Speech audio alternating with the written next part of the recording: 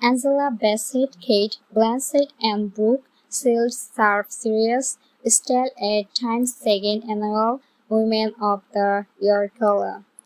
Angela Bassett, Cate Blanchett, and Brooke Shields brought some serious style to Time's second annual Women of the Year Gala at the Four Seasons Hotel on Wednesday. Bassett, 64, who is one of the 12 women being honored by the publication as the Women of the Year, alongside Blanchett, looked absolutely dazzling in a leather jumpsuit decked out with featured burns on the sleeves and a lime green belt.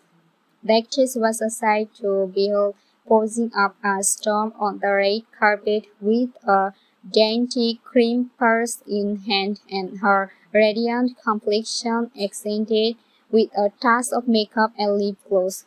Brooke, 57, white high-waist trousers, a bralette, and coordinating pointed heels. Her hair cascaded down in glossy waves, while pink makeup accented her famous visage.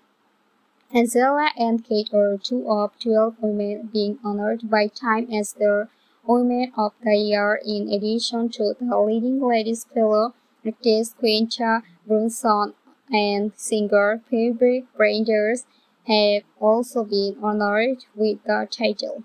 Ayisha Siddiqa, Ramla Ali, Anielle Franco, Olena Shevchenko, Veronica Cruz, Sanchez, Masih, Alinejad, Megan Rapinoe, and Maggie Bowen make up the rest of the list.